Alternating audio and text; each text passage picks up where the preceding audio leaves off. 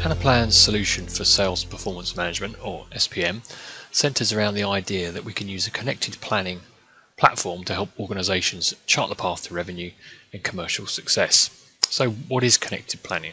Well, Anaplan's cloud-based platform connects the data, so pulling data in from different sources, mainly internal but also external as well, bringing them all into one place.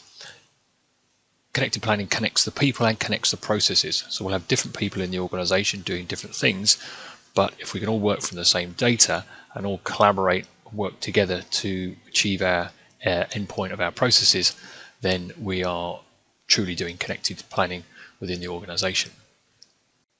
As far as visualizing the concept of connected planning, we find the honeycomb concept that we see here really useful. Of course, the individual parts of the organization operate their own distinct processes, but these processes are naturally interdependent and connected to other areas of the business. And using a cloud planning tool uh, like Anaplan provides for each processes each process to happen, but also provides for that connection between different parts of the, of the organization and between uh, within an individual function itself. So if you look at the top right hand side in blue of the honeycomb that we see on the screen, we've got incentive rewards, quota modeling, sales forecasting, territory, and even marketing performance all linking together within that uh, sales part of the business, but also providing those touch points with the wider business communi- community. So, what does that look like then when we think about a, a process flow uh, of Anaplan and data coming into plan Anaplan uh, models, providing the relevant output that we need to make those better decisions in the business. If we look um, on the left-hand side here with data sources, we're pulling data in from wherever it resides in the organization. The data we need for planning, that might come from other cloud sources, it might come from relational data, it might come from CSV or Excel. We've got the ability to transform that data and then we propose best practice of creating a data hub within your Anaplan environment. What that means then is you've got one set of verified data that's coming into Anaplan, and then we've got those connected planning models that we see branching off from that uh, data. So whether you're doing sales forecasting uh, or incentive compensation, territory and quota not shown here as models, but equally applicable, then everybody's using the same set of data. There's no discussion over who's got the right set, who's got the most up-to-date set of data. And equally, if you've got here, for example, a team doing sales forecasting in Anaplan, there's a good chance that there's going to be an input required from demand planning. There's going to be data needs to flow into FP&A. So that's really truly what connected planning means. To achieve the commercial go- goals, organizations must set corporate goals, translate these corporate goals into market plans, to go to market plans, create performance levers that drive motivation to reach the desired outcomes, and have processes in place that promote sales excellence. Bringing these processes into this single cloud based platform makes a huge difference. A connected planning approach that enables the three elements of connection that we talked about above connecting the data, connecting the people, connecting the processes. If we look at the corporate goals and go to market strategy first, this is the sales planning process using Anaplan to create balanced territories and quotas, define market segments, eliminate coverage gaps, de develop capacity plans. We can do this with, Anaplan because we have current, regularly updated data. We have access to history, e.g. win rates, deal velocity, discounting and so forth. We can interface to internal data source and we can bring in external data as well. And we have the capability to change on the fly as these internal and ex external factors change. So with that in mind, let's take a look at the territory and quota planning app that we have open uh, on the landing page in front of us now. We're logging in as somebody who's got absolute access to everything. However, in reality, we're bringing together a group of people. We're connecting those people who might be involved in different elements of this uh, overall uh, app to generate those quotas, align them, approve them, set up the territories, and, and so forth. Um, we'll see, let's start off with sales history. So we're bringing in data into our uh, into our application. That's our external, uh, our internal data, but also potentially our external data. Very importantly here, we're starting to think about not only bringing in our historic prior year sales against our accounts and looking at total addressable market for our um, existing accounts and maybe uh, target accounts, but we're also starting to score those accounts in, in a couple of ways maybe a more simple firmographic approach to scoring uh, our accounts, but also thinking taking a more uh, scientific approach using Anaplan's predictive insights to score accounts as well. So if we think about that, we're using predictive insights to identify uh, the ideal customer profile, to score and prioritize, and to identify new prospects to target. So that's a good example there of bringing internal and external data together in Anaplan for that planning process. We're now thinking about goal setting in this application. So we're taking our, historic data, we're taking our predictive spends, our total uh, addressable market, and then ultimately generating a target, which we're then going to push down to region, further then down to sub-region, then ultimately down to an account level with approval levels as required at each stage of that process. So if we just jump in and look at the regional goal setting, we're taking a target for the Americas and then spreading it out lower down to US East, US South. If we now go down to sub-region, we can see how now we're taking that same US target for US East target and pushing that out between these three sub-regions. Ultimately, it goes right down, uh, target goes right down here for the Northeast for this particular product. For FY21 for the forecast, we're now down to an, at an account level. So we've set our targets. We need to now be sure that we've got the resources in place to achieve those targets. If I look at my geo capacity analysis screen here, I'm looking at US East for my key accounts and forecast. I can see I've got two heads approved, which uh, I can add those two into uh, the relevant position it's going to achieve the most benefit for us.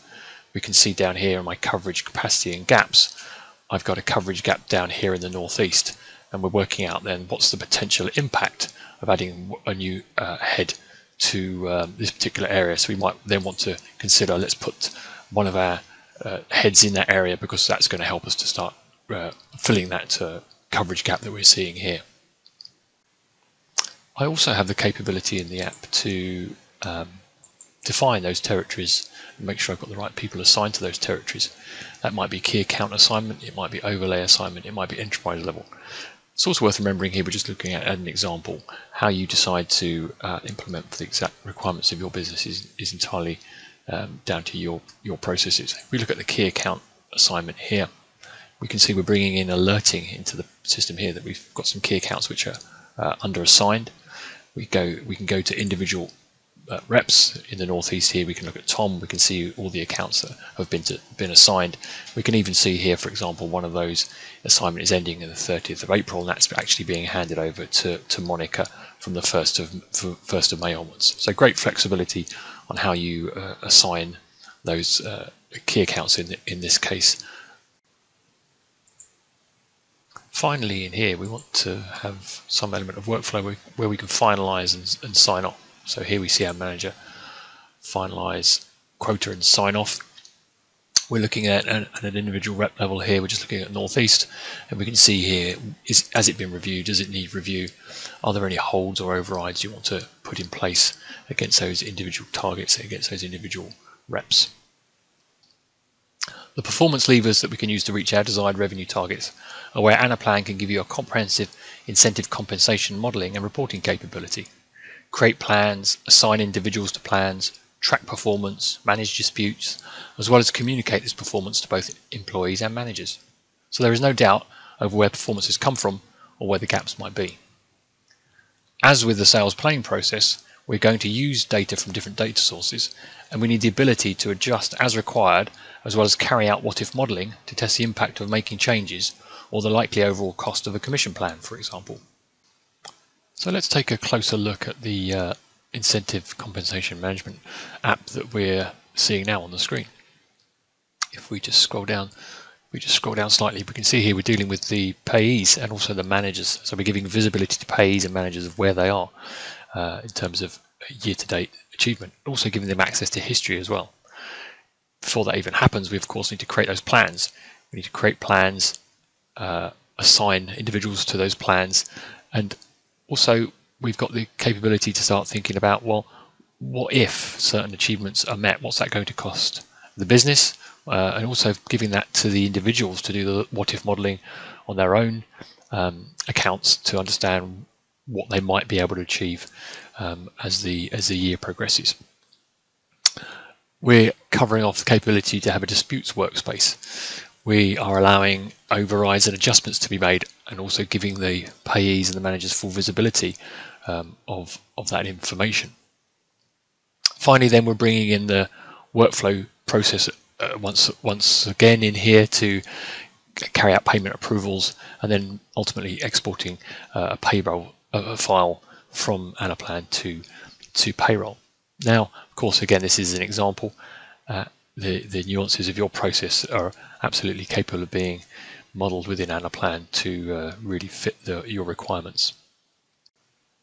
From a payee perspective, then, if we just jump into that screen, we're providing then the payees full visibility of where they are, what they've achieved, what's um, where they are in the current position in the in the current quarter. Here, we're looking back at quarter one for one of our reps. Security will ensure that uh, they only see their own details.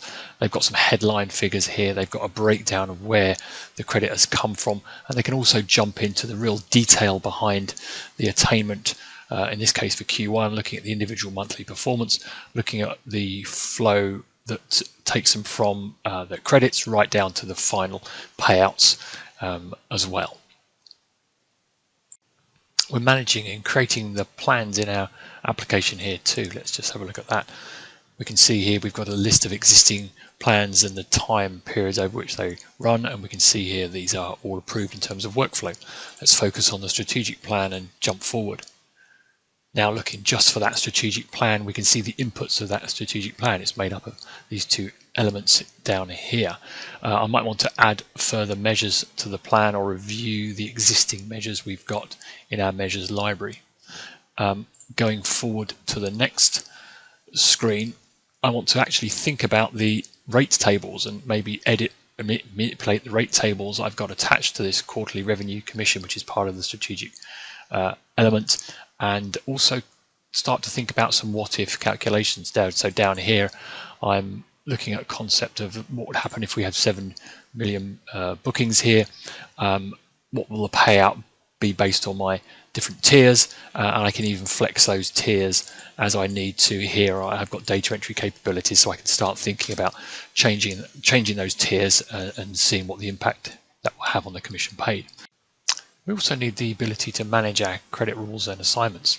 So jumping in there, we see now that we're looking we're looking at individual individual reps. So I'm focused on Tom here. And I can see all all of his accounts. He's a strategic AE. We can see our hire date there. We can see the credit is rolling up to his manager as well. He's got 10 he's got 10 accounts. If uh, alternatively, if we jump down and look at one of our overlays, we can see that that Gabby is product focused instead in the Northeast against these uh, three products. We, of course, need to be able to bring our territory changes in from our territory and quota model that we looked at previously. So we've got that connected nature that we can uh, take output from one model in Anaplan and bring it into uh, another. Finally then here in our incentive and comp um, application, let's think about payment approvals over on the right hand side what we're doing at this point in time is looking at total company or individual uh, elements in the hierarchy. We're looking at a point in time. and a plan has calculated the uh, the payouts, and we're then employing a essentially a three-level approval process: auto approve, tier group, where we might want to individually uh, go in and approve or, or, hold, and then there's a must review layer as well. We're setting thresholds to decide how uh, the different roles, what the lower and upper bounds will be for each of those stages of approval. So ultimately that then gives us the ability to easily focus on, for example, let's focus on my must review. Um, I can see here there's um, 774% uh, above the target incentive. Uh, that is a, a hold. I've put a hold on there. I'm commenting against that hold so that can be visible then by anyone else who's using the model who has relevant access to the model. Finally, reaching our revenue goals is underpinned by a general desire for sales excellence through standardized forecasting methods, improved accuracy, better collaboration, and the ability for the business to develop contingency plans and, importantly, be able to implement across the organization. Therefore, to be able to regularly check back to see how we are doing versus the plan and to readjust as required. In our sales forecasting app, then, we are trying to improve visibility by bringing time-based forecasting at an opportunity and stage level with an ability to allow adjustments at different stages of the process by different levels in the organization and we're bringing that all into one platform. In this app then we've not only got a view of the history of what has happened at a good level of detail but of course it's a forecast we're looking forward we've got the data here we've got people involved in the process to give us a better view a, better prediction a better view of the future enabling us to react more quickly to changes limiting the number of surprises, reducing the number of surprises, allowing us to focus on what's important. We can see who's closing, we can see what's closing, we can see best performance among different uh, account executives. Let's just take a look at some of the parts of the process here. So what we're going to do is we're going to jump into our RVP review, RVP summary and commit we can see the RVP is focused on the in the northeast. We're looking at Q3 FY21, and in terms of a version, we're looking at the current week. But you can see we've got all the history going back to see how we were looking at previous points in the year. We come down here, we can see we've got we're still in progress. Workflow is is being taken care of by Anaplan. We can simply submit when we're ready at this point. We've got a view um, down here of our opportunities of our salespeople in the northeast. If we focus on Ron, for example, down here, we've got some summary level information um, around how Ron's doing. We've got some adjustments going through there, and we can see that detail being mapped out on the lower portion of the screen against the individual accounts. So, for example, this account for this product on a contract term of three years, we put an adjustment in there overriding what's come out of, um, of, of Salesforce. We've got Salesforce close showing this date here, but for the purposes of the forecast, we're going to make an adjustment to that closed date. In addition, we look at the next opt down. We can see here we're adjusting the forecast from a commit to upside. Overall, then that gives us a, a, a revised forecast of commit, upside, and total, which we can then submit up to the next level to our AVP for review at, uh, at the next level up. In summary, then, we've looked at three areas that Anaplan can help in the sales uh, performance management process within the organization. Firstly, sales planning, help, helping organizations focus resources in the right way and in the right places.